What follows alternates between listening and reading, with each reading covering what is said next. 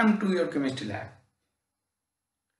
Today I will discuss about NEET UG 2021. How to score 650 plus in NEET UG starting from zero. First step, faith yourself. Faith yourself. What?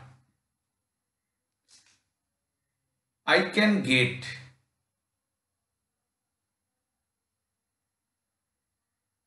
what 650 plus score in NEET UG. Only I can get. But how? You have more books, you have good lecturers, you have good suggestion, you have motivational speech, so, so, so, so, so, everything are available.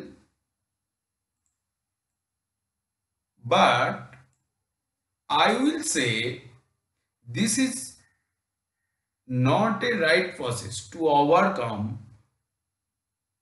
the NEET UG. Then what are you do? Yes, then what are you do? Now I telling you only regular practice. Only regular practice. Let's about regular practice and how. First, manage your time. What are you do? What are you do in whole day? And you will sketch a study plan in per hour. In per hour, what you do?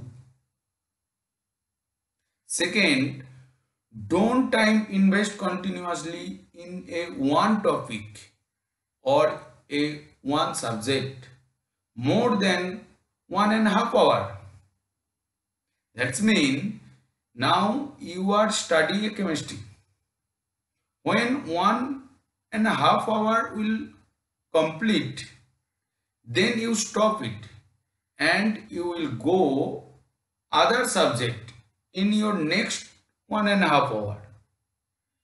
And don't continuously study. And don't study continuously. Like 4 to 5 hours you study one subject like physics like bio bio like chemistry. So don't do this you study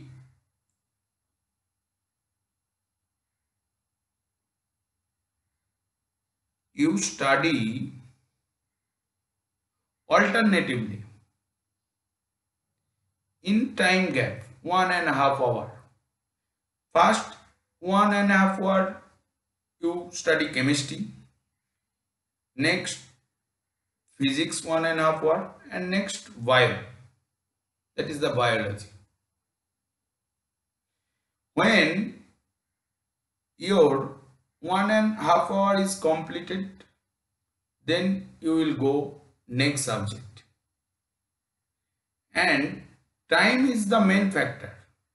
You don't calculate how to manage your time.